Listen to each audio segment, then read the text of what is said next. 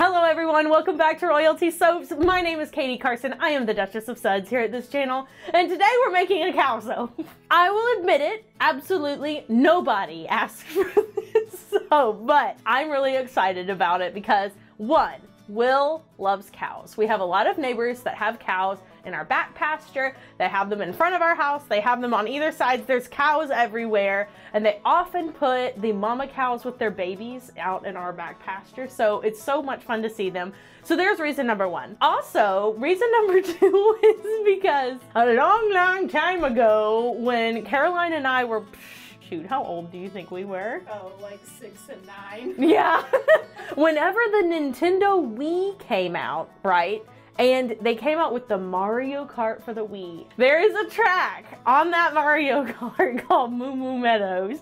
And I just, that name is just wordsmithing excellence. Caroline's brother became the self-proclaimed, I might admit and add, uh, Lord of the Moo Moo Meadows. And that has lived in childhood lore for she and I for probably the rest of our life. So there are many things that just came together to create what is the perfect cow soap. I hope you guys enjoy. Without further ado, let's go ahead and make it. okay, you guys, out of all of the soaps this month, this is the one I am most excited about making. I will say, I still like the smell of the bone apple teeth. the clover apple tea soap, but as far as design goes, this one is bringing something different to the table. Let's go ahead and blend this up with our stick blender on high until just past emulsion.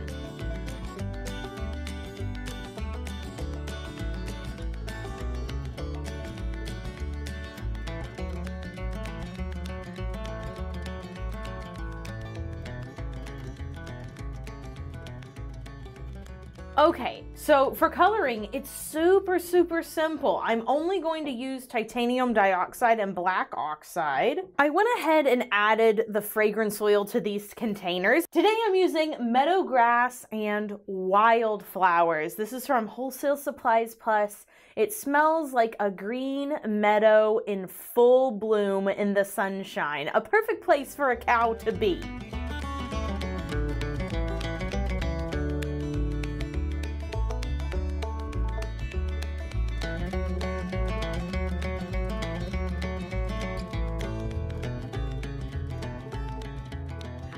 Blended these, well, a little more than I normally do because to do kind of a cow print design, I need the batch to be a bit thicker, but it's looking about how I want it to, so it's time to pour into our two brambleberry molds. I'm putting this on a slight angle so that you guys can kind of see what I'm doing here. I'm gonna start, it's probably still too runny. Yeah, kind of. I'm gonna start by pouring a little bit of black down one side here. It is thickening up quickly though, so that's a good sign. Then I'm going to wipe off my spatula pretty well. And then my white is thicker, which is actually good. I'm going to pour it down one side and it's just going to displace that black so that hopefully the end result looks kind of gloopy. We don't want really any swirling or sharp edges here. It should all look just, yeah, pretty gloopy. And now that I have about half of the batter in, I can add my little pink noses. So these are soap columns. They're made with cold process soap using an oval mold from Wholesale Supplies Plus. You can just search oval silicone column mold and it will come up. I'm going to press down just a little bit. This is this is the single greatest soap I've ever created. All others pale in comparison. Okay, everybody's in. So now on the opposite side, I'm to add in some more black, just like that. And I'm not to tap it down, just like this. And then carefully, so as not to disturb it.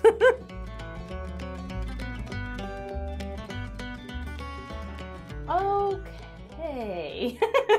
it took a little while to clean this all up, but there you go. There it all is. And now I'll go ahead and get the soap frosting ready. We're actually back the next day to pipe this soap. I had to go exercise and finish up a few things around my house and ta-da! Yes, you can pipe on your soap loaves the next day. You can see these are fully saponified. All I do is spritz the top with 90% rubbing alcohol and then the first layer of soap frosting, I make sure it's a little bit more runny and I found that it adheres absolutely perfectly the next day. We're gonna start with my Ateco 869 tip. We're gonna do one row of white frosting, then a row of black, and then a little white dollop on the top. And you know what? I'll do it. I'll do it Simeon's way.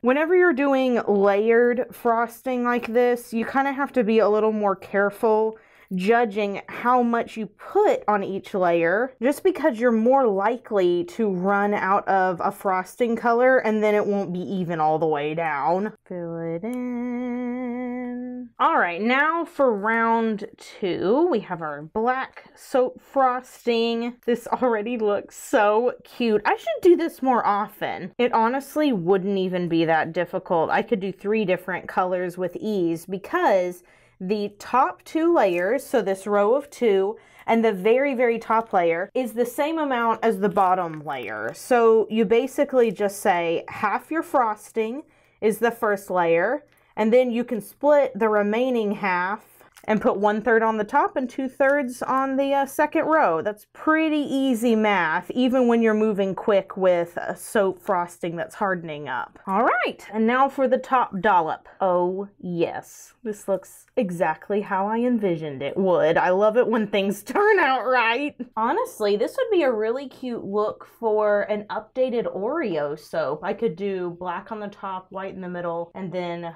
another black dollop on the top, and it would look like the middle of an Oreo cookie. Ah! Okay, now for the best part the horns. you know I had to add them. So this is a crescent moon silicone mold that is cut in half. You can get this mold on Amazon. I think Wholesale Supplies Plus also has it. And then I used Aztec Gold in low sweat clear melt and pour to get this color. Oh my gosh, this is everything. So to make sure this looks like a cow, I am gonna push the embed quite a ways in. We don't want devil horns on this cow. As previously stated, this was a favorite track from a Mario Kart video game that we used to play all the time. We thought the cows just looked so funny. They're so bubbly looking. Also, the name Moo Moo Meadows is hilarious. I told my brother whenever I submitted this design, I don't care about anything else. This design has to get made. I don't care if it sells well. I don't care if it's too niche and too weird. This is a soap from the heart and we have to make it. And he was like, well, there's no arguing with that. As many of you probably know, we have a lot of cattle here in Texas. It's one of the things we do.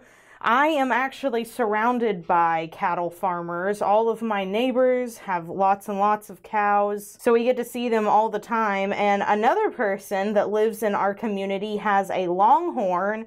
And when I tell you, that thing looks menacing. It's probably the sweetest baby, but I'll tell you, seeing him from a long way away, I'm like, listen, I don't want anything to do with that.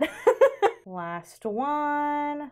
Perfect. Okay, let's spritz this with rubbing alcohol just to keep those embeds nice and shiny. I'm not worried about soda ash on this soap actually. and I also don't have to worry about dissolving any glitter when I put this on top. Okay, awesome. And here is here's the top of Moo Moo Meadows.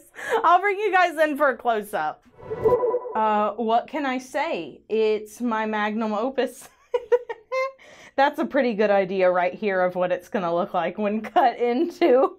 I cannot. All right, we'll be back in 18 to 24 hours to cut the cow soap after this quick commercial break.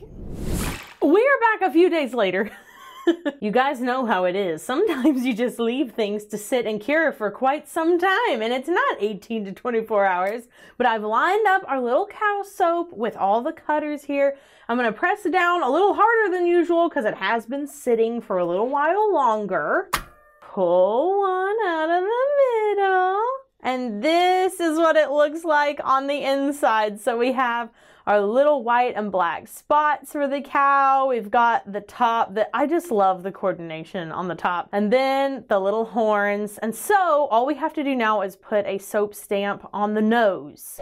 So here's how I'm gonna stamp them. I have my little acrylic stamping tool here. We actually have a new stamp supplier who's in the United States. They had a little bit of faster shipping times. We still love our original supplier, but you know, sometimes you have to change just because of shipping times. I will leave you guys the new supplier that I'm using down in the description box below in case you need a custom stamp for any of your art projects. And then using a little bit of black oyster from Mad Micas, I'm just gonna tap off the excess. I'm gonna place it in the middle of our little nose here and then press down. It's really easy to do. Wiggle it back and forth and then pull straight up. So it's really, really easy to do. If you guys have never used a stamp with your cold process soap, I highly recommend it because it's such an easy way to just glam up the front of your bars. There's a lot of people who like to use them with their logos. We do have one for the Royalty Soaps logo that we put on some other natural soaps that we make. Last one here, just press straight down, wiggle back and forth, and pull straight up. And there you go. Our little cow soaps are finished. They honestly look so cute. I'm so pleased with the way, specifically, the spots look. And having that big gloop of white and the big gloop on top, I think it's just, it's just perfect. So, question of the day. What's your favorite type of cow? Now listen, there's lots of different types. I like the little mini cows. I don't know what they're called, but they look so velvety and fuzzy. Anyway, comment your favorite type of cow down below. Can't wait to see. I know this is the question of the day y'all all expected. It's very important. So many things depend on your answer, so let us know. Well, I hope you guys enjoyed the making of Moo Moo Meadows. It will be available with the Honey Sunday collection on the first Saturday in April, 3 p.m. Central Standard Time, royaltysoaps.com. I hope you guys, yeah, really enjoyed it. Be sure you do something fun for yourself today, like going out there and identifying your favorite cow. You didn't know there were so many types out there, did you? What's your favorite cow? Very important to know. Maybe you need to go figure that out, but I don't really care what you do. Just be sure you do something fun for yourself yourself. And I will see you next time. So until then, have an absolutely royal day and bye for now.